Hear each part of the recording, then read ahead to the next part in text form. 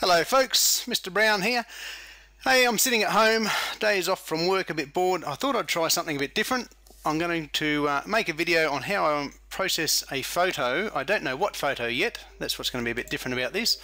So I, um, I'm thinking about doing a black and white landscape an old photo of a landscape I should have somewhere. Now nothing here is planned, I've got really no idea what image, what I'm going to do. Uh, these are photos from the other weekend, so I might just look this year and have a quick scan, quick scout through, see what photos I've got. I'll quickly find something I like, well half like, and we'll turn it into a black and white and give it a go. Now I know these photos are from a photo shoot with Alex Monkton, some Chiligo photos, some here, something here might be okay. What have we got? Look for something for a bit of a lead in line. Okay, straight off the bat, let's try, let's try, let's try, I have no idea. Let's try this in a black and white. Okay, so what I'll do, obviously open up the image. I like the lead in line. It's okay. It's a bit plain as it is. There's no real detail, uh, no feature or anything. So I'm going to jump uh, straight over to develop in Lightroom here. Do, do, do, do, do, hurry up. Now I'm going to open up the shadows. I'm going to drop down my highlights. I'll uh, hold down the Alt key and click white. I'll bring this up so I can just get a bit of white there and I'll click the black and bring it down till I can see a little bit of black in my image. There's a bit there on the left. That'll do me. A quick uh, using the backslash key. That's before. That's after. Just gives it that little bit of punch. I might add a, a, twig of clarity, not much point adding vibrance in I don't think if I'm going to turn it to a, uh, a black and white. Sharpening I'll do elsewhere, Maybe, yeah that'll be fine. I'm going to chuck this straight into Photoshop. So edit in Adobe Photoshop. Now this image could turn out absolute crap and uh, this video may not even make it on the internet. Okay, um, I'm going to go hue saturation. I'm going to drop my saturation out. Yes, I can use the uh, the um, black and white sliders here to get what I want. But I like to, you know, there's auto, and there's a whole heap of different options here you could do. And it's not doing anything because that layer's still on. Okay, so there's a few different options here I could do.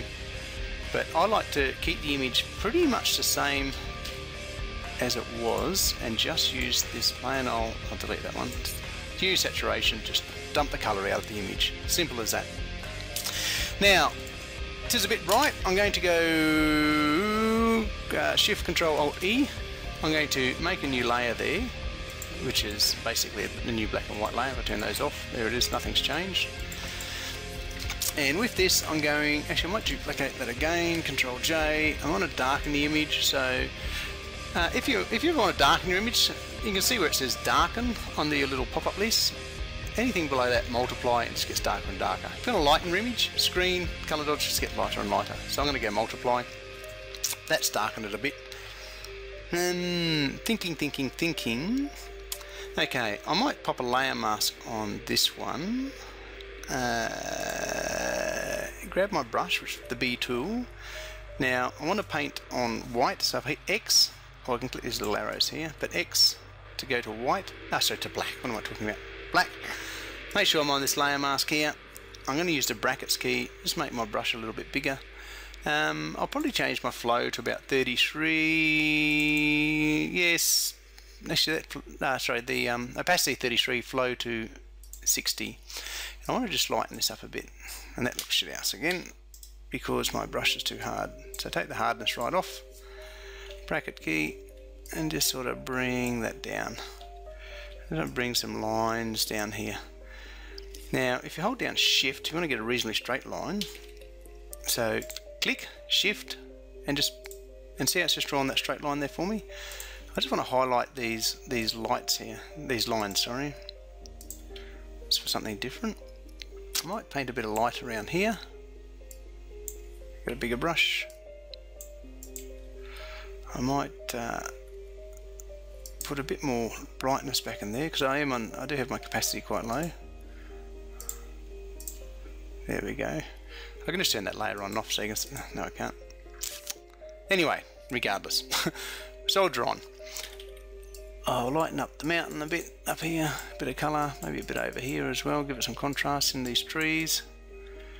Put a patch of light down there. I'm just sort of half random going everywhere here and a bit up there as well.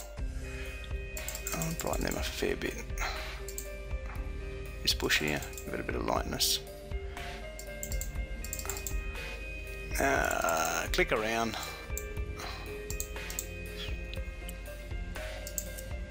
And I'm going to do the alt shift thing again here. That's just sort of half making a bit of a, um, a leading line. I can actually go back to black, the X, uh, to white, sorry. And I just want to darken this a bit. I'm just going to make it a bit smaller. There we go, maybe a bit smaller there. So here, and shift again, and shift. Oh, I'm hitting enter, you wally shift, shift. I end up a bit of a black spot there, but I can go back and just change it there. Hmm, so-so. Just giving it a bit more detail, a bit more contrast. Um, I'm going to go up to my levels, and I'm going to drop the white slider down to around about here, just to the edge of this graph. Bring my center up a bit, this will make it a bit more contrasting. So what that's going to do is this sort of going to darken the darks and whiten the whites. I'll give it a bit more contrast. I'll close that one. So there's your. And this time I should have just paint that um, black to hide that layer, the effect. Switch back to white. B to go back to brush. what I'm going to do now is just paint a bit of contrast. I'm going to up my opacity a little bit and my flow a little bit as well. So I'm just going to paint in a bit of contrast along, along the edge here. Just get a bit of detail on those rocks. Maybe a bit of contrast here. And definitely up the back here. I might make this a bit bigger. So around where I lightened it, I'm just going to give that a bit of contrast just to give it a bit of a punch. On some of these trees as well. I might even get up here, look. Uh, yeah. Where else do we want to go? Maybe a bit along the edge here. And probably all these bushes, just, just darkening it a bit. Make it a bit smaller. I'll just try these clouds. Yeah, it's just sort of pulling that up a bit. And I'm going to paint that across just to bring that whole sky down a bit darker too. And I might do the same along the front here just for a bit of natural vignetting. So that's for a bit of extra contrast and punch. Not looking too bad. I might just darken the tops and bottoms a wee bit more. So I've grabbed the um, Marquee tool there. Right click. I'm going to go feather. 300 pixels will do. I'm going to right click, select inverse. Grab the curves adjustment and usually on a line here somewhere just pull it down probably about half one of these squares just I don't like to do it too much just a little tiny bit like that so there's my before and after on the, the vignetting not looking too bad I might give that a sharpen so what I'll do is I'll go um, shift control alt E again I've created that new layer I'm going to go filter. Actually, what I might do is um, re remove the noise first. Because if I leave the noise in there, when I sharpen it, I'm going to up the noise sharpen. Um, this is Noiseware Professional. It's a fantastic program. I don't know if you can see it on the screen, but I've, I've clicked. There's the noise, and there's no noise. I just use the default landscape setting. Click OK. Let that run its course.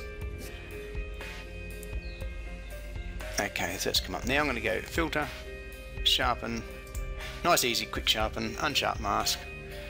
Um, now this will only be for screen so I'm going to probably drop that back a bit.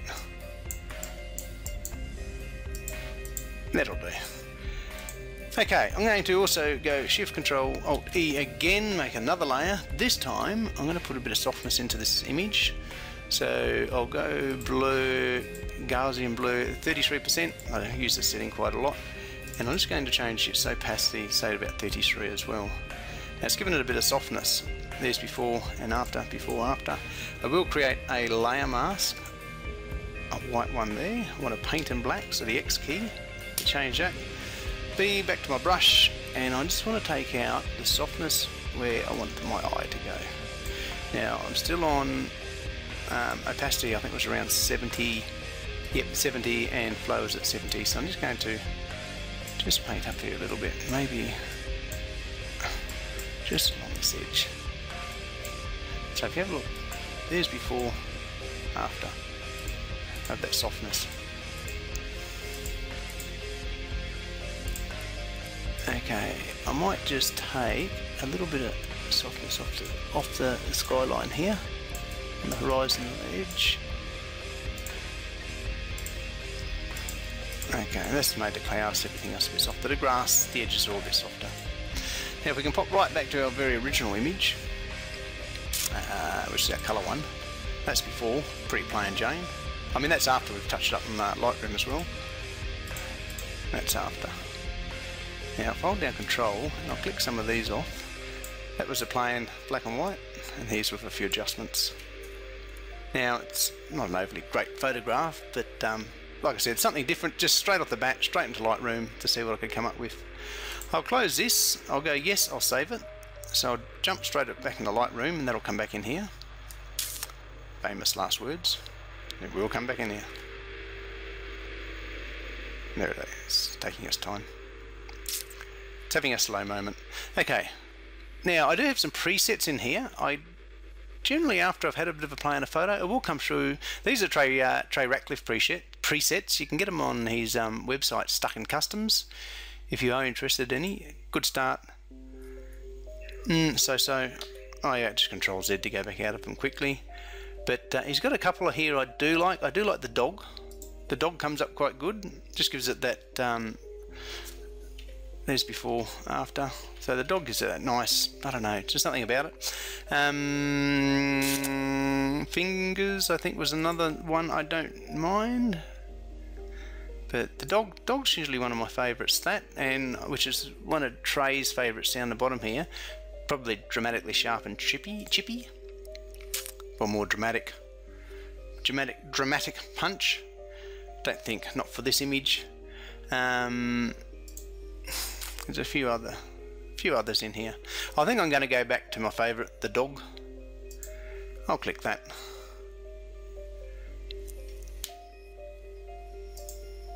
Oh, what have I done there? The dog was a bit funny on me. There we go. The dog. Done. Okay, well that's it.